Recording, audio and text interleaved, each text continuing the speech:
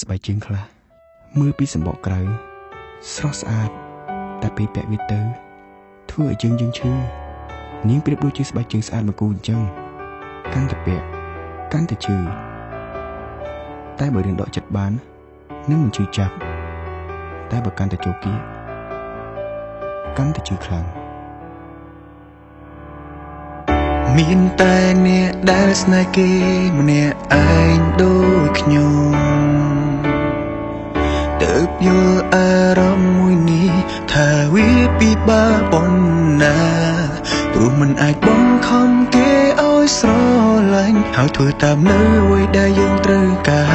រគឺមានតែស្រឡាញ់គេទាំងឈឺផ្សាខូចចិត្តរោគទឹកនេត្រាម្នាក់ឯងគេមិនខ្វល់ទេពេលចង់ជួបគេម្ដងម្ដងពីបាខ្លាំង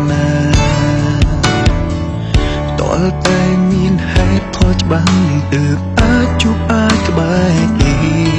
ព្រោះយើងមិនមែនជាមនុស្សប្រុសសំខាន់ដែលគេប្រាថ្នាចង់នៅក្បែរនោះទេគេមិនដែលចាប់អារម្មណ៍នឹងយើងទេតែបន្តស្រឡាញ់គេតែម្នាក់ឯងដើម្បី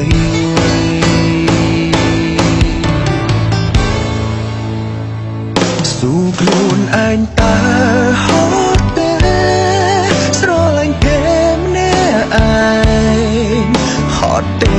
ខំហួងហែងគេរៀងរាល់